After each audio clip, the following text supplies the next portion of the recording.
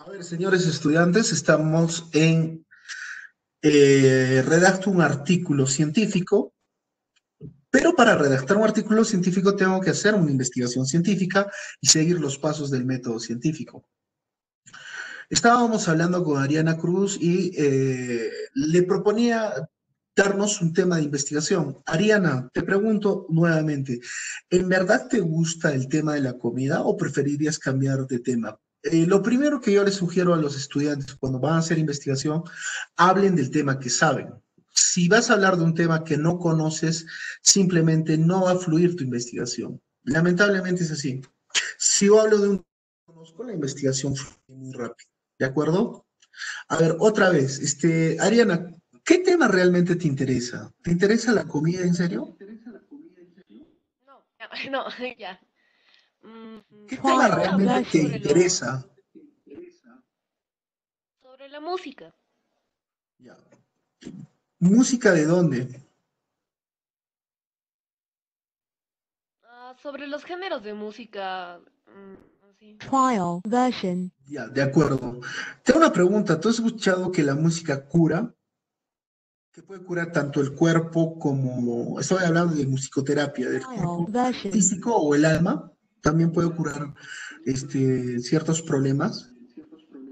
Ah, he escuchado que la música te puede alegrar tu día y eso puede hacer que mejor si tienes algunos problemas psicológicos o algo así. Ok, entonces, eh,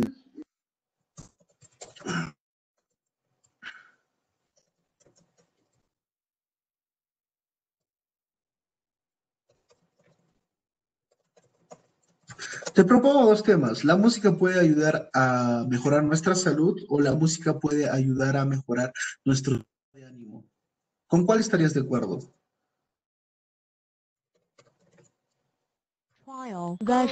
El estado de ánimo, creo.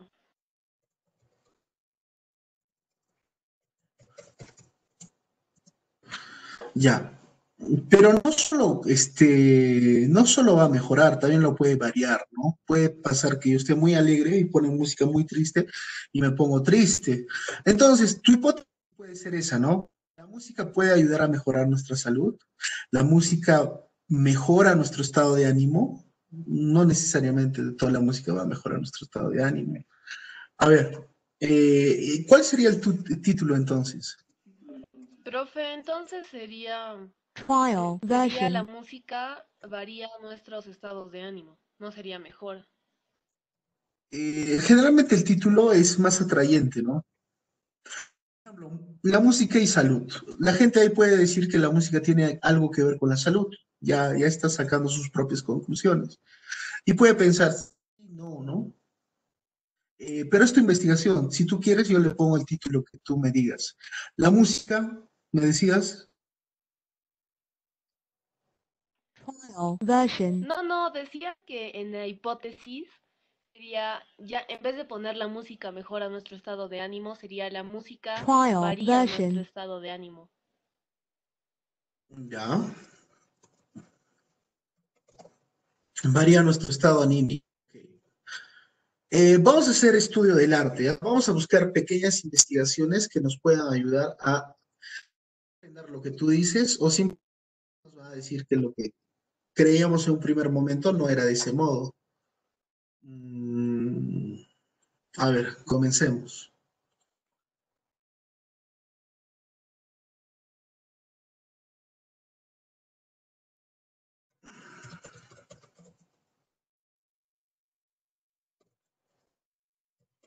Primero, comencemos por la música y la salud. Eh, la música varía nuestro estado de ánimo.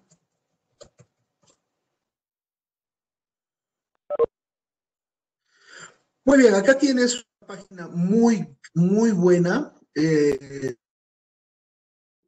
esta página de salud es bastante conocida. Mm, habla del tema que estamos queriendo tocar, la música y el estado de ánimo. Música, atención y aprendizaje, la música y la ansiedad, la música y los estados de ánimo, la música y el sueño, Entonces tenemos bastante para tomar material de ahí. Entonces lo voy a poner dentro de mi bibliografía, ¿de acuerdo? Ya lo tengo dentro de mi bibliografía. Entonces, eh, vamos a leer solo un pedacito acá en la parte que dice la música y los estados de ánimo, que es exactamente lo que yo quiero demostrar. Un análisis de cinco estudios sobre la música para la depresión concluyó que la terapia musical no solo es aceptable para los pacientes deprimidos, sino que en realidad ayuda a mejorar sus estados de ánimo. La música ha demostrado ser útil para ayudar a los pacientes con enfermedades médicas graves como el cáncer, quemaduras y esclerosis, eh, esclerosis múltiple, que también están deprimidos. Si puede ayudar en estas situaciones, es posible que pueda ayudarle a usted y a sus seres queridos a experimentar estados de ánimo más positivos, más positivos. A ver, voy a volver a, voy a volver a mi búsqueda. Me dice la salud. Y acá, ¿cómo influye la salud en eh, ¿cómo influye la música en tu salud? Ya lo tengo entonces, eh, está perfecto porque justamente habla de mi primer punto, que quiero demostrar si ayuda o no a la salud. Y acá, beneficios en la salud, dice, me ayuda a relajarme, entonces controla el estrés y la ansiedad, aporta energía, contribuye a reducir el dolor, Ayuda en desórdenes neurológicos como Alzheimer, Parkinson o autismo. Fortalece el sistema inmunológico. ¿Por qué? Dice que también el niveles de cortisol en el cuerpo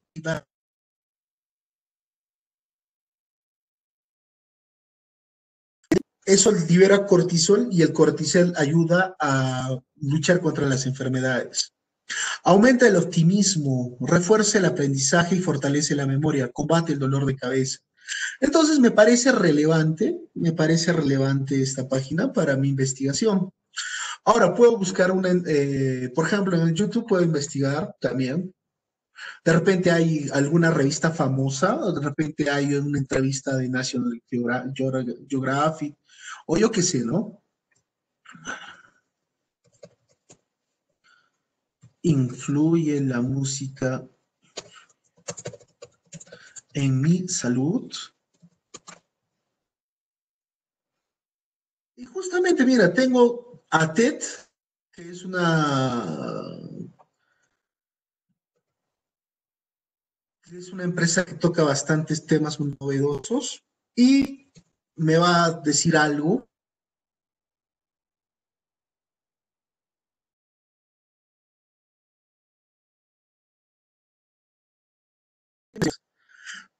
puede ser de un youtuber. Acá tengo algo más importante, TDX, la importancia de la música en la educación. ¿Nos afectará la música en la educación? Y te va a explicar ahí por qué, ¿no? Te va a decir, hay ondas beta, hay ondas gamma, hay ondas alfa que se activan mediante la música. Y de repente hay otras investigaciones, no sé, tú tendrías que buscar. Pero por lo pronto ya tengo demostrado, ya tengo sentado que la música, según esta página, que no es muy conocida, sí puede influir en tu, en tu salud. Y según la otra página, eh, healthy.org, que es altamente conocida y respetada en el mundo, sí ayuda, pues, ¿no? Sí ayuda la música a la salud. Eh, Ariana, Ariana. ¿Qué, profe? Sí, profe. Trial version. En el estudio del arte, ya, ahí voy a hacer un resumen de todo lo investigado. ¿Me has comprendido? Sí. Ya, ese resumen te encargas tú. Eh, las conclusiones. Según lo poquito que hemos visto, vamos a hacer una conclusión apresurada. ¿Influye la música en la salud? Um, sí. Entonces tú dices la música sí influye en la salud. ¿Positiva o negativa?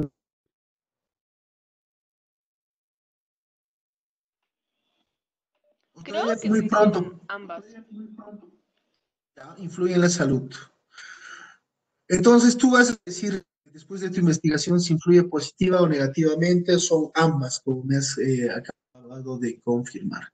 Ya, muy bien. Ya tienes tu artículo. Por favor, le haces un screenshot para que puedas trabajarlo. sí, ¿y cuándo se lo tengo que entregar? Trial version. Siguiente clase. Ah, Ahí está ya todo el formato, te estoy dando el formato.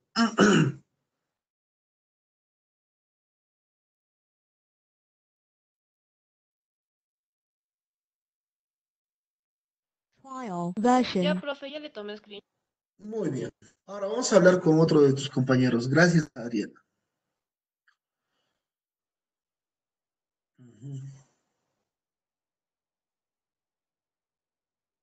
Viviana Cayali. Viviana. Viviana. Viviana. Creo que Viviana no está. Eh, Camila Sieskovich. Camila. Profe. Hola Camila. ¿Te parece si hablamos de un tema? Sí. ¿Qué tema te gusta? Mm. No sé, profe, pero creo, o sea, la vacuna, o sea, ¿cómo digo? ¿Para el ébola? Mm, ¿Te interesa el ébola? Ah, sí. Este, Camila, te sugiero, agarra un tema que realmente te guste investigar. O sea, si a mí me piden investigar sobre educación, no me voy a cansar tanto como si me pidieran eh, estudiar, digamos, matemáticas, ¿no? O sea, no es mi fuerte, digamos.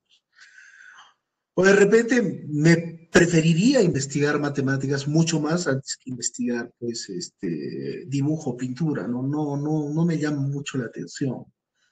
O de repente, este, preferiría mil veces investigar pintura, dibujo, frente a investigar sobre el fútbol, ¿no? El fútbol me llama muy poco la atención. Entonces, dale un orden, dale un orden. Yo prefiero que tú me digas algo que realmente te gustaría, un tema que te gusta, ¿no? Para que puedas investigarlo. Porque como has visto, de la música podemos sacar una gran investigación, ¿no? Como si afecta o no a nuestra salud. Y al inicio el tema parecía bastante vano, ¿no? O sea, la música, sí, pues me gusta y qué, ¿no? Los géneros musicales. Pero nos estamos dando cuenta que la música ayuda bastante al ser humano. Camila, ¿qué opinas? Dame un tema que realmente te guste. De repente a ti te gusta pintura, arte, te gusta biología. ¿Qué tema te gusta? Pintura. ¿Te gusta el arte? ¿Te gusta la pintura? Sí, dibujar. ¿Te gusta dibujar? Sí. Muy bien. Eh, ¿Y qué hay con el dibujo? ¿Es fácil, es difícil? Em, bueno, a veces es un poco difícil. ¿El artista se hace o nace? Nace. ¿Nace? Sí. En el caso de Leonardo da Vinci y Miguel Ángel Buonarroti sería completamente cierto, ¿no? Porque nunca han tenido información académica sobre arte. Mm, y, pero aquellos grandes artistas que han logrado tener clases de arte y todo lo demás, ¿tú crees que no, no se, me, se desmerece su obra? profe? Mm, ya. A ver, más fácil. ¿Tú crees que el arte, mm, el artista nace, verdad? Yo pienso que puede hacerse. ¿Qué tal si ese es tu tema de investigación? ¿Te gustaría? Sí, profe. Ya. Entonces, este, tu hipótesis es, el artista nace para ser genial. Y otra cosa que podría haber es que el artista se hace genial. ¿De acuerdo? ¿Cuál sería el título de tu investigación? A ver, vamos a tratar de buscar. El artista ¿El artista nace o se hace? Digamos, ¿no?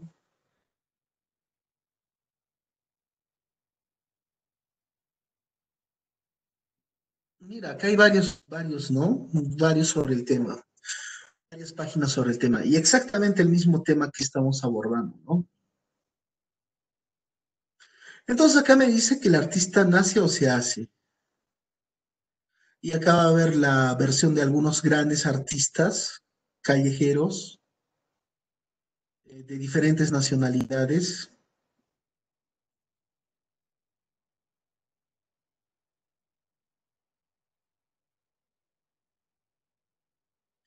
Va a haber grandes artistas de diferentes nacionalidades que me van a dar su punto de vista acerca de que si el artista nace o se hace, ¿no?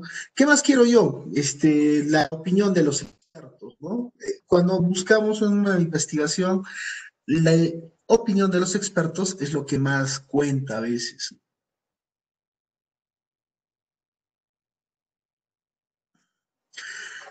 Ya, a ver, este, vamos a buscar otro ejemplo. Federico Kant en el Universal nos va a decir que si el artista nace o se hace. Vamos a buscar un poquito de su investigación.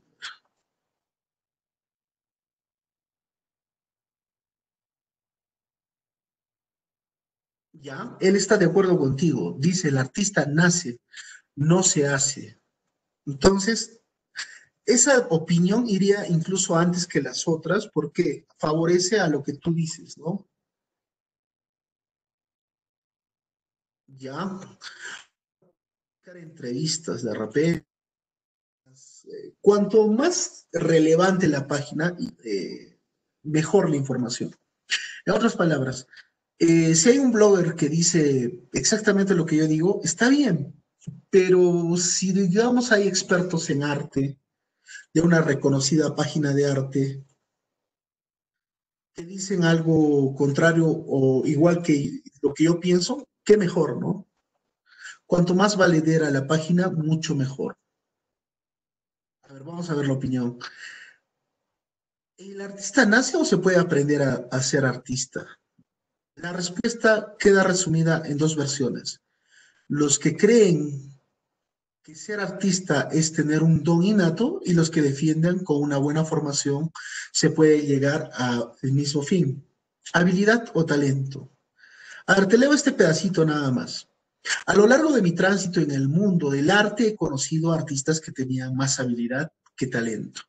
Y a otros con un don especial para, la, para el arte se han estancado en su camino, han quedado anulados por su falta de perseverancia que requiere practicar cualquier actividad creativa. Ya, eh, voy a copiar ese acá, me voy a atrever a copiar eso.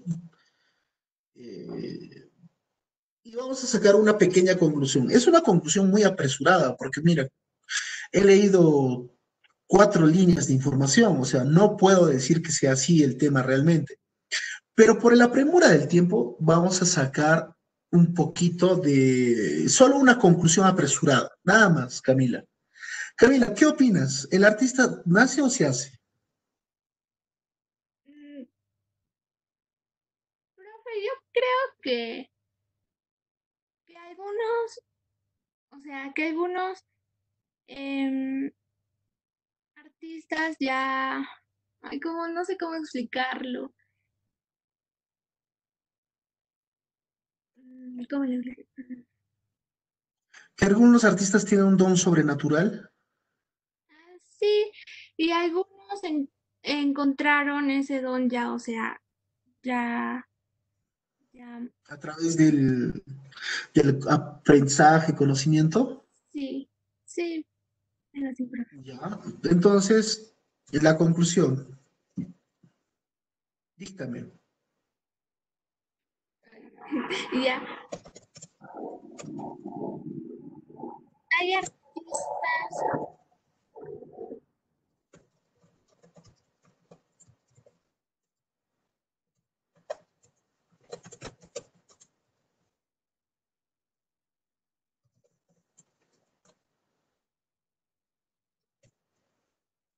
Ok. Sigue meditando. Em,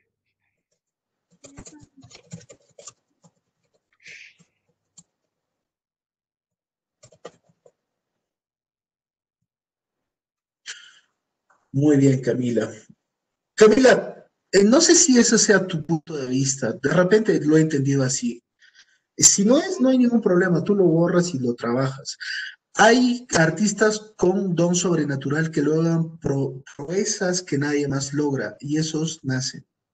Hay artistas que en el camino, mm, acá hay un error, que en el camino aprenden a ser artistas. Gracias a la formación.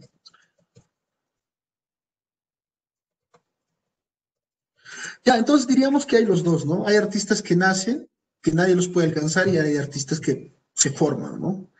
Que se forman y que pueden tener grandes obras. Habría que buscar más que todo ejemplos. Eh, si tú pudieras buscar ejemplos de artistas que gracias a su formación son sobresalientes en el mundo entero, eh, yo veo uno, por ejemplo, Kudai Bergen, no sé si lo han escuchado, es un cantante que tiene una técnica vocal depurada. Lo hace muy bien el trabajo vocal. Es un cantante, le llaman. Por ejemplo, él es un, él es formado, ¿no? Él es formación pura, no es talento. En cambio, recuerdo que, por ejemplo, en los programas como eh, Cook Talent o American Talent, eh, hay niñitos de cuatro años que no tienen ninguna formación o niños de 11, 12 años que no tienen ninguna formación, pero tienen una voz espectacular que cautiva a todos. Y no sé, o sea, ellos, por ejemplo, se han, han nacido, ¿no? Con ese don. Pero no necesariamente en el futuro van a lograr ser grandes artistas, ¿no? Hay que, ahí va el tema de la formación. Entonces, diríamos que también hay eh, la mezcla, ¿no? La mezcla de estos. Ya. Hija, me falta un título para tu investigación. ¿Me podrías dar el título, por favor? Ya, profe. Eh, podría ser... Profe, podría ser ¿Los artistas nacen o, o aprenden a ser artistas? ¿Ya? Eso de aprenden a ser artistas se resume en se hacen, ¿ya? Así este, vas a encontrar más material sobre tu investigación. ¿Te parece si le tomas un screenshot, por favor? Ya, profe. ¿Ya? Esa investigación me la das para la siguiente semana. ¿Está bien? Ya, profe. Ok. Eh, a ver, ¿quién más? ¿Con quién más puedo trabajar?